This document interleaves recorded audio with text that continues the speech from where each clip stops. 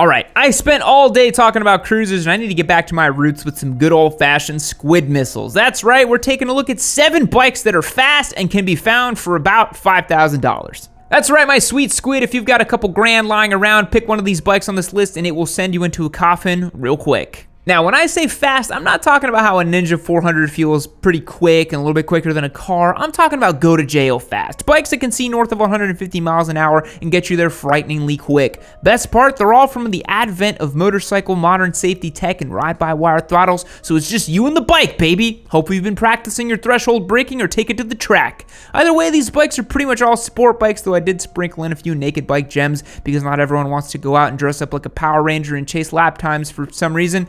No rules or restrictions today, just some dirt cheap bikes you can buy right now, assuming you've got a few grand in the bank. Let's get right into this one.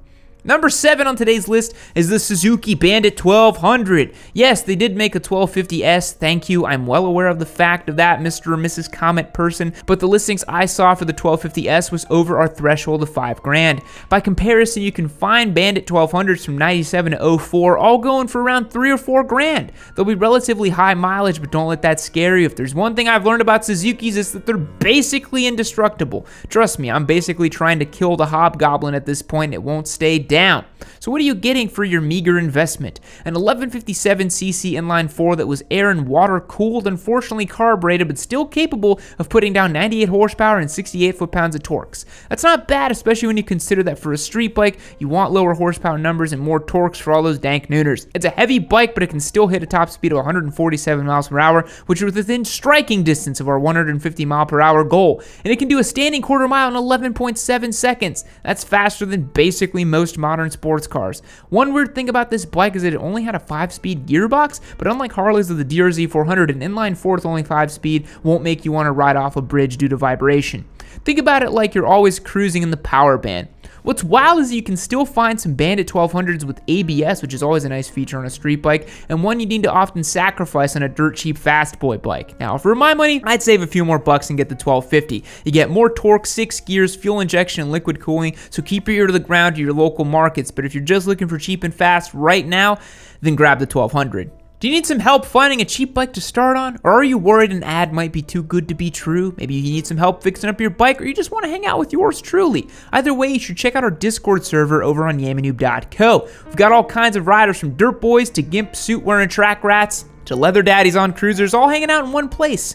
Whether you're a new rider looking for some advice on how to get started or a vet looking for some people to flex with, we've got you covered. Also, you'll get to participate in our weekly Yamcast live streams, get exclusive videos and behind the scenes looks into what's going on on the channel. The Discord boys already know what the next intermediate bike is, by the way. If you want to get on all that good stuff and win a motorcycle at the same time, click the link down below and check out yammienoob.co to get signed up. Now on to a proper sport bike, one with some racing pedigree and is sure to elicit satisfied nods with a hint of jealousy from other fast boys, the 2002 Honda CBR 900 RR Fireblade, otherwise known as the 954.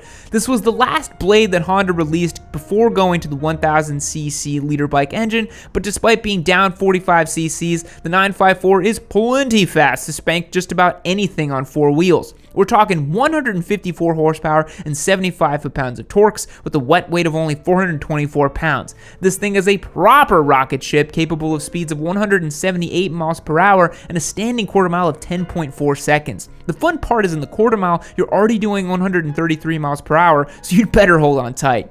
You've got all the stuff you'd want on a liter bike like fully adjustable suspension, drop dead sexy looks, and a great sound, which honestly I think sounds better than a lot of modern liter bikes, and none of the things you don't. There's no traction control, no wheelie control, there's no nannies of any kind, it's all down to your right wrist. But enough of me evangelizing for the better days of sport bikes, what's this thing gonna cost you? Well, this one's gonna stretch the budget just a bit, but if you're willing to spend a little over our $5,000 goal, you can get a clean one from $6,000 from a dealer or a higher mileage bike bike for about 4500 bucks. Like the Bandit though, don't let the mileage scare you on a bike like this. There's two things that are certain in life. Death and Japanese inline 4 motorcycles from the early 2000s.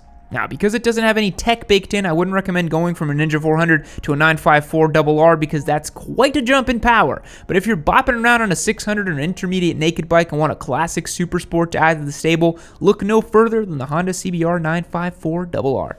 Number five is actually going to go to two bikes because I wanted to talk about both of them. the Yamaha FZ1 and R1. That's right, the first example of bike power, liter bike, and slightly less big power naked bike using the same engine, or at least most famous example. Cue the triggered 919 and 599 Hornet boys. The pre-crossplane R1 is a gem of a bike that basically gets tossed in the garbage the minute the Yamaha announced they were bringing the crossplane crank from the M1 GP bike to the streets. But that means that you can get them for pennies on the dollar. You can get these R1s new as 2005 for $5,000 and sometimes less if you know where to look. For that money, you're buying 998 cc's of inline 4 putting down 171 horsepower and 78 foot-pounds of torque. Yeah, it's not the 200 that the modern R1 is putting down, but let's be honest with ourselves here for a minute. There's no difference to the average weekend track day rider between 171 and 200. We're just not capable of wielding that much power but you're still getting the aggressive ergos, flashy looks, and massive sweeping analog tach to show you all the info you need.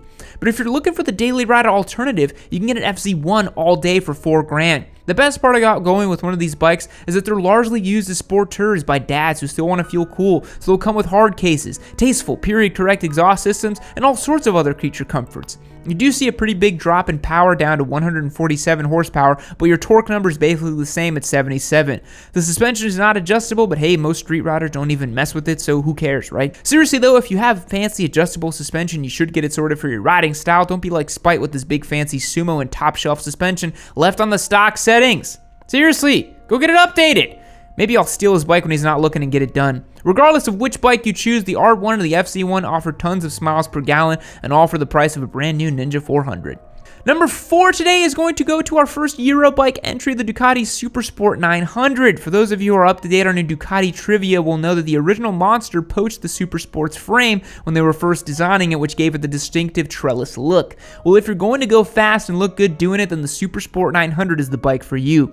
You can pick up Supersports from the entire line of bikes dating back to the early 90s, but I'm going to suggest the 1999 to 2002 range because those can be had for only $4,000. It's not the fastest thing in the world, but then Ducatis were pretty slow compared to their Japanese counterparts this time. The Super Sport is packing the old Ducati air-cooled 904cc V-twin, putting down only 80 horsepower and 57 foot-pounds of torques, basically the same as my Scrambler. But it can still hit a top speed of 143 miles per hour and do the standing quarter mile in 11.4 seconds, which is not bad for a bike that you could theoretically start on if you're a little older. The best part about this bike is that it's not carbureted, which is a godsend. Can you imagine having to work on a Ducati carb? I mean, the modern Ducatis barely work, and if you look at them funny, you need to get the Desmos checked. But a carb Ducati is like asking for pain and misery, the likes of which Alighieri wrote about in his Inferno. So a cheap Ducati without the BS you might expect from owning a cheap Ducati. What's not to love? Also, you'll get showered in ladies' undergarments when you ride it. I'm joking, obviously. You'll be constantly accosted by old men at the gas station who are reminded about the good old days when you're right red steed.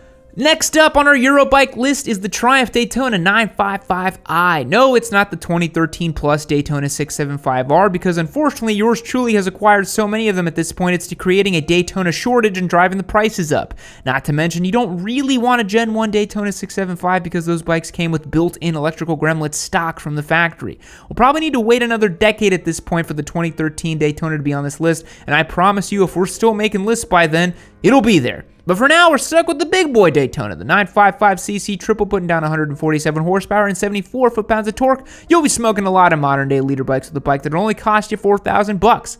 Much like the R1, you've got all the stuff you'd want from fully adjustable suspension, lightweight, and I'd like to say looks, but in this case, it's really down to personal taste. It's not your typical sport bike with hard lines and sharp angles, and it's not a 90s bike with the old square tail, two round headlights. It's somewhere in between. It was definitely shaped by the times it was released in, and much like the old sedan looking Mustang from the early aughts. All that being said, though, if you like the looks, you're in for a treat because who doesn't love the sound of big bore triples? Number two, and yet another cheap ish Japanese liter bike, this time is the Kawasaki Z ZX9R. This bike is nothing special, don't get me wrong, it didn't revolutionize the motorcycling landscape, but it was a very solid bike. This is the bike fast boys bought, and the only thing you care about is speed and having enough cash left over to pay off those speeding tickets. You can get a 2002 model in great shape for 3800 bucks and sometimes less if you're okay with some dings and dents, but again, we're talking about the Chipotle of motorcycles here. Cheap, and it'll get the job done. You got an 899cc inline 4 putting down 144 horsepower and 74 foot-pounds of torque, and while it's car carbureted to run like the Energizer Bunny so long as you don't let it sit. It ticks all the boxes with fully adjustable suspension, big stonk and 310 millimeter rotors up front, and a quarter mile time of 10.6 seconds and a top speed of 175 miles per hour. That's the fastest bike on this list so far and within spitting distance of the 186 mile per hour electronically limited sport bikes of today. One thing about these early 2000s cow is that they had these crazy loud graphics, so you want to feel like synthwave personified, then this is the bike for you. It's also got a screaming little ninja face in the front. Just look at the two headlights and the big ram air and tell me that's not a face on there. Rounding out our list is one that's sure gonna break the budget, but I don't even care. It's close enough. It's the Suzuki Hayabusa!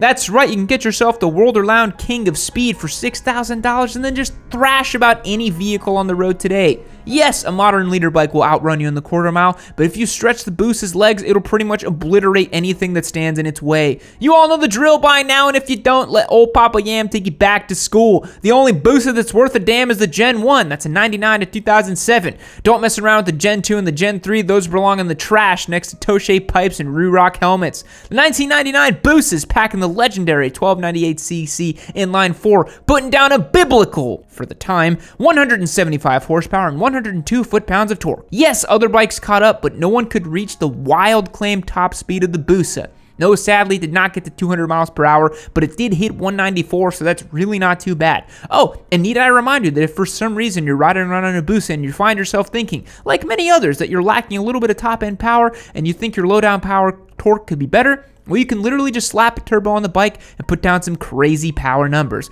Plus, at that point, you can flip it on Craigslist for $13,000.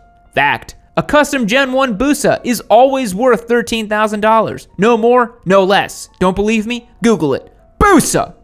You've made it to the end of a Yammie Noob video. Did you like what you saw? Do you want to see more of it? Check it out, right here, just like magic, waiting for you. Click this little square, right here, more memes, more Yammie, more of my face. Isn't that great?